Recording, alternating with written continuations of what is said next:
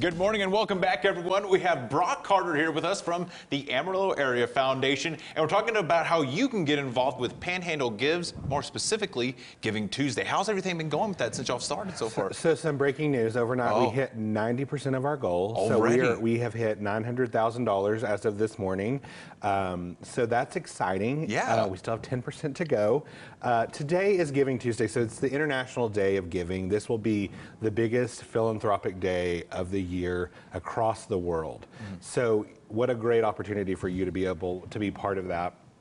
Today you can go to Barrel and Pine Canyon, and every customer that comes through their door, they're going to give a dollar to our amplification fund.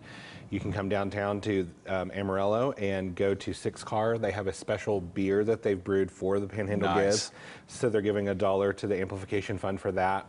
Um, you can go online to thepanhandlegives.org. You can go to any of our participating banks, which are Amarillo National Bank, Happy State Bank, and First Bank Southwest. Drop off a check to your favorite organization, and you will um, really make a difference to your community. It's not about the dollars; it's about the impact of those dollars.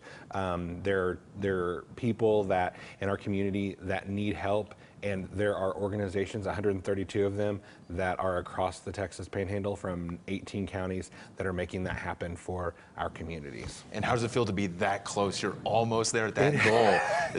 it is honestly it is so like it has been so overwhelming to see the number of gifts come in and to see because these nonprofits are our friends. So for them for them to be able to get funded and to have uh, the the things that the, the projects that they're working on get funded it's exciting to watch that happen um, of course there are, are a lot of organizations that haven't met their goals yet so there are a lot of worthy causes that are a part of what we're doing in the panhandle gives so you can make a gift that will really impact your community and when our nonprofit organizations are strong our communities are stronger Awesome. Couldn't have said it better myself, Brock. Well, thank you. Thank you so much, Brock. And of course, we'll have all this information of how you can help out as well on our website at myhighplains.com.